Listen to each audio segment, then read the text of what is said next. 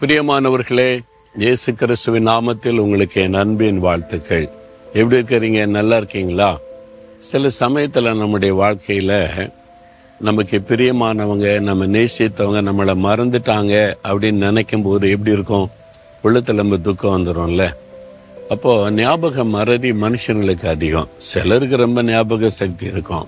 இப்ப என்ன என்ன எடுத்துக்கொண்டா நான் ஓடித்து போற இடத்துல மூணு நாள் ஒரு வீட்டில் தங்கி இருந்திருப்போம். அவங்க தான் சாப்பிட்ருப்போம் ரெண்டு வருஷம் கழிச்சு அவங்கள பார்த்தா நீங்க யாரு? எங்க இருக்கீங்கன்னு நான் கேட்பேன். என் மனைவி நான் பக்கத்துல இருந்து அவங்க வீட்டில் தான் நம்ம தங்கி இருந்தோம் அங்க போயிருந்தோம்ல அவங்க வீட்டில் தானே. என் மனைவிக்கு ரொம்ப ஞாபக சக்தி. அதை ஞாபகப்படுத்தணும் அப்படின்னு சொல்லி நான் பேச ஆரம்பிச்சோன்னா அவங்க சந்தோஷப்பட்டுருவாங்க. நான் இன்னைக்கு யாரு? நீங்க மறந்துட்டேன்னு சொல்லும் போது அவங்களுக்கு எப்படி இருக்கு? ஒரு வருத்தம் இருக்குது நான் மனுஷன் தானே அப்போ திருப்திப்பட்டுக்கிறான். நீங்க ஆயிரக்கணக்கான பேரை பாக்குறீங்க எல்லாரையும் ஞாபகம் வச்சு கொள்ள முடியாதுன்னு. அது உண்மைதான். எனக்கு ஒரே ஆள் வீட்டில் தங்குனா கூட மறந்துடும் ரெண்டு முறை மூன்று முறை தங்கி பழகின பிறகுதான் எனக்கு ஞாபகத்திலே இருக்கும். அது ஞாபக மறதி. ஆனா ஆண்டவர் எப்படி மறப்பாரா? ஆண்டவர் மறந்துட்டாரு. ஆண்டவரே என்ன நினைக்கல. அப்படி சொல்றவங்க உண்டு. ஆனா ஆண்டவர் என்ன சொல்ற தெரியுமா? ஏசாயா நாற்பத்தி ஒன்பதாம் அதிகார பதினைந்தாம் வசனத்துல நான் உன்னை மறப்பதில்லை. என் மகனே என் மகளே நான் உன்னை மறப்பதில்லை.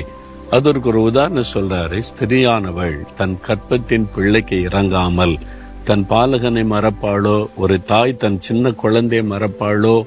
அவள் மறந்தாலும் நான் உன்னை மறக்க மாட்டேன். தாயே தன் குழந்தையை மறந்தாலும் நான் உன்னை மறக்க மாட்டேன் அப்படின்னு ஆண்டு சொல்றார். இது நாம நினைக்கிறோம் ஆண்டவனை மறந்துட்டான்னு சொல்லி.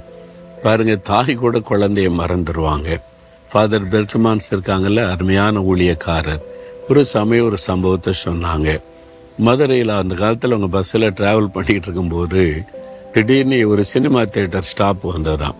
நிறைய பெண்கள் அவன் சொல்ல அந்த சினிமா தேட்டர் பேரை சொல்லி இந்த தேட்டர் வந்துட்டு இறங்க இறங்கன்னா நிறைய பேர் இறங்கிட்டாங்க.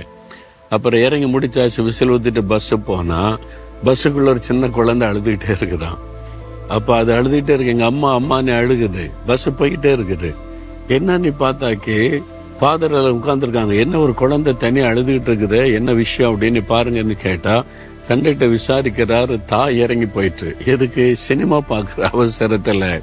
சினிமா தேட்டர் ஷாப்பில் பிள்ளை கூட மறந்துட்டு இறங்கி போயிட்டு பஸ்ஸை நிறுத்தி வெயிட் பண்ணி காத்திருந்து அதுக்கப்புறம் அங்கிருந்து அந்த அம்மா ஓடி வருது. பார்த்தீங்களா இதான் மனுஷனுடைய அன்பு. தனக்கு பிரியமான ஒரு காரியம் வந்துட்டா மறந்து போயிடுவாங்க அந்த ஆண்டவர் அப்படி இல்லை. நம்மை மறக்காதபடி எப்பொழுது நினைவில் வைத்திருக்கிறவர்.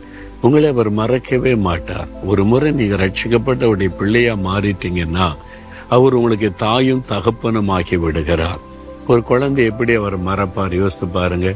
அவரே சொல்றார் நான் உன்னை மறப்பதில்லை. இல்லை ஆண்டவர் மறந்துட்டான்னு சொல்லுவது நம்முடைய பலவீனம். நம்ம அப்படி நினைத்து கொள்கிறோம் ஆண்டவர் மறந்துட்டாரு என்ன நினைக்கல அப்படின்னு நாம் அப்படி நினைத்து கொள்கிறோம் ஆனால் உண்மை அதுவல்ல தேவன் நம்முடைய நினைவாகவே இருக்கிறார். உங்களை நினைத்து கொண்டே இருக்கிறார். அப்போ ஏன் எனக்கு இது செய்யலை அது செய்யலை அப்படின்னு நினைப்போம்? எல்லாத்துக்கும் ஒரு காலம் இருக்கிறாரு ஏற்ற வேளையில அவர் பதில் கொடுப்பார். ஏற்ற நேரத்தில் அற்புதம் செய்வார். அப்போ நீங்க ஆச்சரியப்பட்டு போவீங்க. ஓ ஆண்டவர் என் மேல இவ்வளவு நினைவா இருந்திருக்கிறாரே. நான் தானே அறியாமல் போயிட்டேன்னு சொல்லி. அதுதான் உண்மை. அவர் ஒரு நாளும் இயேசு உங்களை மறக்க மாட்டார். மறக்காம இருக்கிற உள்ளங்கையில வரைந்து வச்சிருக்கிறாராம். உன்னை என் உள்ளங்கையில் வரைந்து வைத்திருக்கிறேன். அதனால நான் உன்னை மறக்க முடியாதுன்னு சொல்லி. அப்ப நீங்க இயேசுவின் பார்வையில் இருக்கிறீங்க. அவர் உங்களை கவனித்து கொண்டே தான் இருக்கிறாரு. உங்களை மறக்க மாட்டார். என்ன உங்களுக்காக உயிரையே கொடுத்த ஒரு ஆண்டவர்ல ரத்தம் சிந்தனவர் எப்படி மறப்பார்? முழு இருதயத்தோட சொல்லுங்க ஆண்டவரே நீர் என்னை மறந்துட்டுன்னு நான் சொல்லிட்டேன். என்னை மன்னிச்சிருங்க. அது என்னுடைய பலவீனம். நீங்க ஒரு நாள் என்னை மறக்கிற தேவன் அல்ல. எப்பவுமே என் நினைவா இருக்கிறீங்க. எனக்கு உதவி செய்றீங்க. உங்களை ஸ்தோத்திரம்னு சொல்லுங்க.